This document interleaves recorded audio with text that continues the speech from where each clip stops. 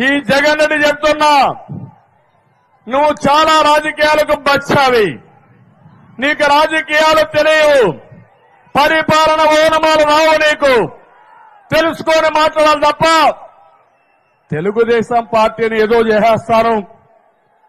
పోలీసులను ఉపయోగించుకుంటా. ఏదో కావాలని కేసులు పెడితే భయపడతారనుకుంటున్నారు కానీ ఎవ్వడు భయపడడు. ఎన్టీ రామారావు గారు ఇచ్చిన స్ఫూర్తి. అందుకే ఈ రోజు నేను పెట్టాను. ఎన్టీఆర్ స్ఫూర్తి. చంద్రన్న భరోసాతో ఇక్కడికి వచ్చా. ఎవరైతే నువ్వు బాధ పెడుతున్నావో ఎవరినైతే నువ్వు హింసిస్తున్నావో వారికి అండగా నేనుంటానని ఈ చూడవల సాక్షిగా మరొకసారి విజ్ఞప్తి చేస్తున్నా. కష్టాల్లో ఉండేవాడికి అండగా ఉంటా. నువ్వు కేసులు పెడితే నేను తోడుగా ఉంటా. ఎవరికైనా ఇబ్బందులు పెడితే కబద్దార్ గుర్తుపెట్టుకో నీ గుండెల్లో నిద్రపోతా మిమ్మల్ని వదిలిపెట్టాం. వైఎస్ఆర్ కాంగ్రెస్ దొంగలను హెచ్చరిస్తున్నా. కబద్దారు జాగ్రత్తగా ఉండండి. మీరు జాగ్రత్తగా ఉండకపోతే మీకు తగిన శాస్త్ర చేసే శక్తి తెలుగుదేశం పార్టీకి ప్రజలకుందని మరొక్కసారి హెచ్చరిస్తున్నా. తమలో ఈరోజు ఒక్క విషయం మనం గుర్తుపెట్టుకోవాలి. ఈ మహానాడు ద్వారా రాష్ట్రానికి ఒక సందేశం ఇవ్వాలనుకుంటున్నాను. ఇలాంటి మహానాడులు ఇరవై ఆరు పెడతాం. ఏజెన్సీ ఏరియాలు రెండు పెడతాం. రెండు జిల్లాలు ఉన్నాయి కాబట్టి. అయితే ఒకే మాట చెప్తున్నా. సమాజంలో ప్రతి ఒక్కరికి విజ్ఞప్తి చేస్తున్నా. మరొక్కసారి ఎన్టీ రామారావు గారిని నెమరు వేసుకుందాం. తెలుగుదేశం పార్టీ చేసిన పనులు ఒకసారి జ్ఞాపకానికి తెచ్చుకుందాం.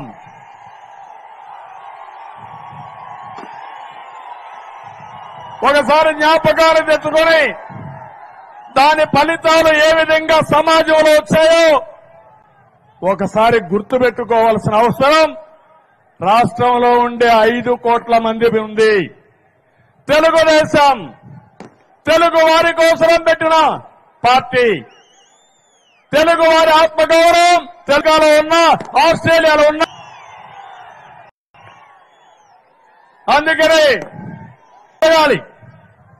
ప్రతి ఒక్క వ్యక్తి చర్చించాలి. తెలుగుదేశం పార్టీ మీకేమిచ్చింది? రాష్ట్రానికి ఏమి తెచ్చిందనే విషయం ప్రతి ఒక్కరూ ఆలోచించాల్సిందిగా మరొక్కసారి నేను కోరుతున్నా. అందుకని పదహైదు రోజులకు ఒకసారి మహానాడు పెడతాం.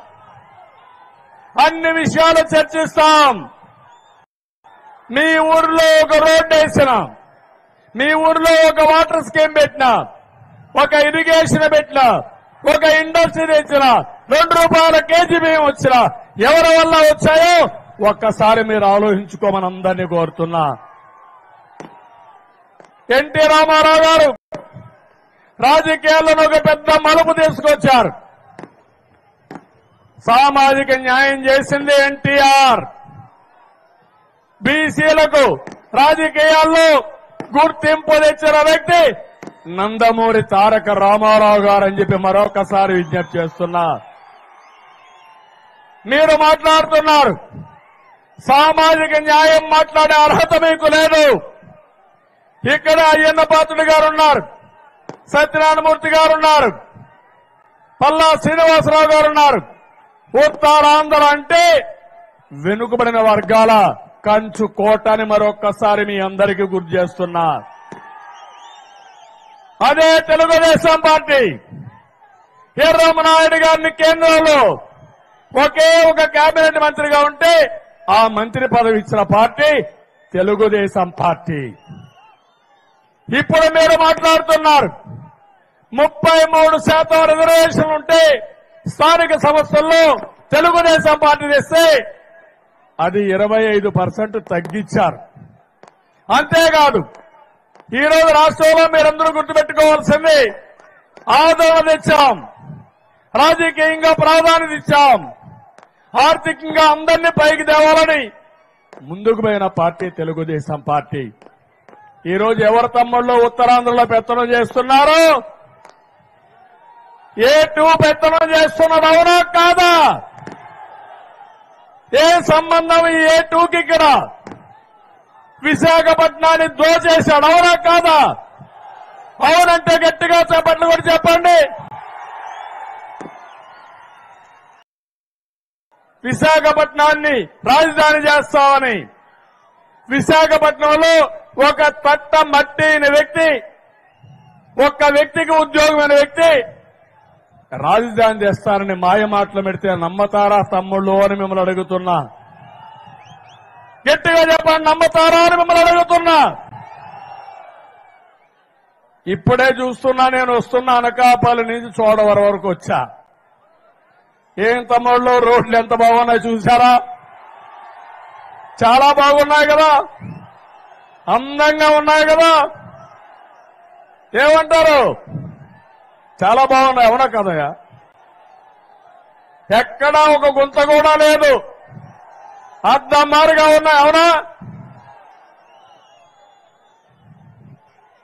కనీసం రోడ్లో గుంతలకు మట్టి లేని ముఖ్యమంత్రి మూడు రాజధానులు కడతాడంట. కడతాడా తమ్ముళ్ళు? నమ్మకం ఉందా మీకు అని అడుగుతున్నా. లేదంటే గట్టిగా చెప్పండి లేదు అని. చెత్త మాటలు అన్ని ఫేక్ న్యూసే మాట్లాడతాడు ఈ ముఖ్యమంత్రి. ఒక కిలోమీటర్కి నూట యాభై గుంతలున్నాయి. ఆ గుంతలెక్కితే మొత్తం మన నడువులన్నీ ఇరిగిపోతాయి. ఆటో డ్రైవర్లంతా కోపంగా ఉన్నారు. మొత్తం ఆటో డ్రైవర్లంతా రిపేర్లకే వచ్చిన ఆదాయం సరిపోయే పరిస్థితి వచ్చింది. పెట్రోల్ డీజిల్ పెంచారా? కాదా? పెంచారా లేదా? పెట్రోల్ డీజిల్ పెరిగింది. రోడ్లు మాత్రం గుంతలు కూడా పూడ్చరు. అదే తెలుగుదేశం పార్టీ హయాంలో తమ్ముళ్ళు రోడ్ల మీద? అది తెలుగుదేశం. ఆయన సుబ్బారెడ్డి తెచ్చాడు.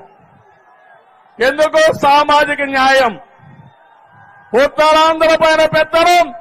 సుబ్బారెడ్డిదా? విజయసాయి విజయసాయి రెడ్డిదా అడుగుతున్నా. ధైర్యం ఉంటే ఇక్కడుండే నువ్వు పెట్టు. నీ ఇష్ట ప్రకారం చేసి ఇది సామాజిక న్యాయం అంటే నీకు తప్పకుండా బుద్ధి చెప్తారు ఉత్తరాంధ్ర. ఒక్క సీటు గెలిపించకుండా వైఎస్ఆర్ కాంగ్రెస్ పార్టీని ఇంటికి పంపించే సత్తా ఉత్తరాంధ్రలో ఉంది. అది ఈ రోజు కనపడిందని చెప్పి కూడా నేను మీకు తెలియజేస్తున్నా. తమిళలో ఇదే కాదు. నేను అడుగుతున్నా మిమ్మల్ని అందరినీ. ఏ రైతైనా ఆనందంగా ఉన్నాడా ఇక్కడ? ఉన్నారా అని మిమ్మల్ని అడుగుతున్నా. అందరూ క్రాప్ హాలిడే డిక్లేర్ చేశారు. ఎక్కడ? కోనసీమ. సుందరమైన కోనసీమలో. నీళ్ళన్నీ విపరీతంగా వచ్చే ప్రాంతాలు. మేము వ్యవసాయం చేయలేము. వ్యవసాయం చేస్తే ఎకరాకు ఇరవై ఐదు వేల రూపాయలు నష్టం వస్తుంది కాబట్టి మేము వ్యవసాయం చేయలేమని క్రాప్ హాలిడే ఇచ్చారు. నేను అడుగుతున్నా ఈ ముఖ్యమంత్రిని బాధ్యత ఉందా లేదా అడుగుతున్నా. తెలుగుదేశం పార్టీని విమర్శించారు మేమే కారణమని. ఇప్పుడు బాపట్లో చేశారు రాష్ట్రం అంతా చేస్తున్నారు. కడప మీ జిల్లా కడపలో కూడా క్రాప్ హాలిడే ఇచ్చారంటే ముఖ్యమంత్రి ఇప్పటికైనా సిగ్గుంటే మార్చుకో. రైతులకు గిట్టుబాటు ధరి. నిన్న కూడా చూశాను. అన్ని తప్పులే. ఏదో ఇన్సూరెన్స్ డబ్బులు ఇచ్చేశాడంట బటన్ నొక్కాడంట. ఏం బటన్ నొక్కావు? ఒత్తొచ్చి బటన్ నొక్కాడు వచ్చిందా మీకు అందరికి ఇన్సూరెన్స్ డబ్బులు. వచ్చిందా అని అడుగుతున్నా. రాకపోతే చెప్పండి చేలు పైకెత్తండి. బటన్ నొక్కావు ఆ పేర్లన్నీ వెబ్సైట్లో పెట్టు నీ కథ తేలుస్తావని చెప్పి మరొకసారి విజ్ఞప్తి చేస్తున్నా. ఏదైతే ఎంఎస్పీకి మూడు వేల ఐదు వందల కోట్లు పెట్టారన్నాడు ఎక్కడున్నాయి డబ్బులు? ఎక్కడా డబ్బులు పెట్టలేదు. కావాలని తప్పుడు ప్రచారం. Fake news. సాక్షికి ఎప్పటికప్పుడు అడ్వర్టైజ్మెంట్లు ఎవడబ్బొస్తున్నాయా ఇది? మన కష్టార్జితం. ఈ ప్రజల కష్టార్జితం. మీరు పే చేసే ట్యాక్స్ డబ్బుల్ని జగన్మోహన్ రెడ్డి పేపర్కు టీవీలకు ఇచ్చుకుంటే ఇది న్యాయమా అని మిమ్మల్ని అడుగుతున్నా. ఈ రాష్ట్రంలో చాలా దారుణంగా ప్రవర్తిస్తున్నారు. పదహైదు రోజులకి ఒక ఫేక్ న్యూస్ వస్తుంది. దానికి ఫుల్ పేజ్ అడ్వర్టైజ్మెంట్. అది సాక్షిలో రావాలి సాక్షి టీవీలో రావాలి. రెండు విధాల దోపిడీ. మనమందరం కూడా ఇబ్బంది పట్టే పరిస్థితికి వచ్చాం.